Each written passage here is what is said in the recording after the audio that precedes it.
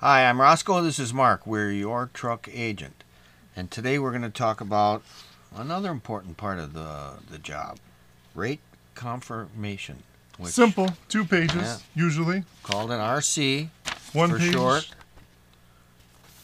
And what what is a rate confirmation? What is it? It's a contract between the broker and the driver owner. Right. Tells you, tells us what? What's it going to tell us? Well, it's going to tell us how much the load pays, the most important thing, right, to us anyway. right? We, that, right. That's what we negotiate is the price. right.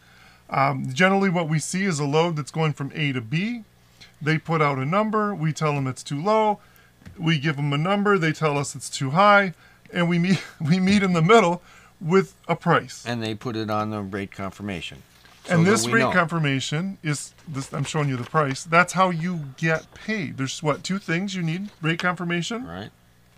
and, And, a bill of lading. and a bill of lading, If, right? if you have a rate confirmation and a bill of lading, if you're using a factoring company, you should get paid very quickly after you send these documents into your factoring company. Right. Your paperwork is very important. We're going to get into that in a little while in the notes section. So, the rate confirmation tells us where the freight is, Right? The pickup the pickup, and where it's going to go. and the delivery. Right. So, And what about the little detail, the notes? there's a section on the rate confirmation. It's called notes. Now, drivers. nobody nobody wants to read the notes, but you got to read the notes. And Don't rely on dis- your dispatch Right. to read these right. notes. If you don't read the notes, the they say they will incur penalties, and you know what? They will. And the penalties, the penalties are bad. That means they can take some of your money away if you don't comply with some of the notes. So This is let's just- Landstar, Yeah, and okay? this Landstar, a very big company. We do a lot of work with them. Great company for new owner operators, Right. new authorities, but here's the thing. Check calls required every morning by 8 o'clock. Means you got to tell them where you are at eight in the morning. Now you don't want to do that because you might be asleep. You might have, you might have been uh, uh, driving till four in the morning, and you're not going to get up at eight. Now, what you want to do is you want to let your dispatcher know by a simple text where you are when you go to sleep, so that your dispatcher can handle that and tell Landstar where you are at eight in the morning. You don't have to get up. Failure to do so results in a $250 fine. $250. We can't afford that today. That's how many gallons of gas? Three. Three or four, maybe. And every every broker, even brokers within companies like Landstar, TQL, um, they can be different from office to office. Right, so you got to read the notes. That's the point. That's our point here. On the rate confirmation, there's notes. Landstar must be notified of any overages, shortages, or damaged product immediately upon arrival. Yeah, if anything happens, you got to tell them. Otherwise, Failure to do so is 50%. Wow, 50%. fifty percent. They must be made aware of problems during transit. They just want you to communicate Yeah, with them. and and that is, we touch on that in another video. Right. Communication, how to communicate with your with your uh, uh, dispatcher. So this is all part of it. So you might as well be communicating, make everything go smooth. Right. And you're running this freight for money. Right? This particular load pays $1,500 to go from A to B. The broker contracted you to run this load for money.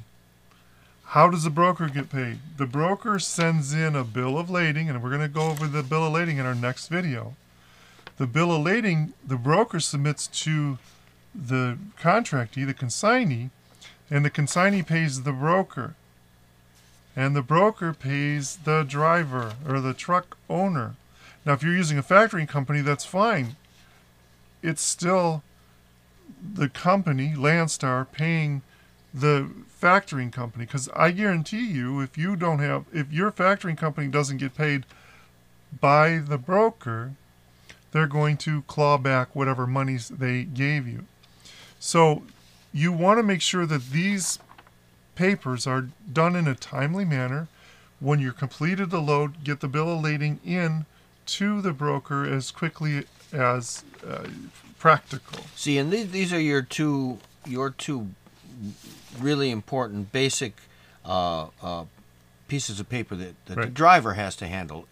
it's important to keep your paperwork in order. Now, uh, as as dispatchers, we do as much as we can for the driver, but you will have these two pieces of paper in your possession, and you have to handle them. You then you send them to us, and we can do the rest. But they always start with you and these two pieces of paper. I sub- I send the rate confirmation to the owner of the truck. I send this. So I don't need the driver to send me back the rate confirmation. The bill of lading is generally given to you by the shipper. And when you get to the other side at the receiver, that receiver signs the bill of lading. So when a driver has a bill of lading, there's a few things that we need to have happen. Number one, I need to know what the driver's name is. And I just have that written right here in magic marker. You write it right on the on the BOL. You I want to know it. what date that the driver picked the freight up. I want to know who the broker is and the broker's number, their PO number, whatever they use. This all helps you to get paid. So with, with this little bit of information written on the bill of lading and the receiver signing the bill of lading, this document now gets sent to your dispatch and your dispatch will forward it on to Right. You send it. You get it. You send it to us. We take it from there. and We get you paid. Yep. And we'll send it to the factoring company, or wh- oh, if you're not using a factoring we'll handle company, it. Or your your your own dispatcher. Uh, that's what we do for our drivers. If uh, you you should have a dispatcher that does that too. and by having these filed properly, you can find them a year from now, six months from now, ten years from now. Uh, it's a, there's a very simple system for keeping these things in order. So that's just a quick note on the uh, rate confirmation. We're going to talk about the bill of lading. That'll be in our Actually, next we kind of just did, didn't we? Yeah, but we're going to go a little more right. detail. All so we'll right, see you in a few minutes or next time you're in, check out that other video. Thanks for coming by.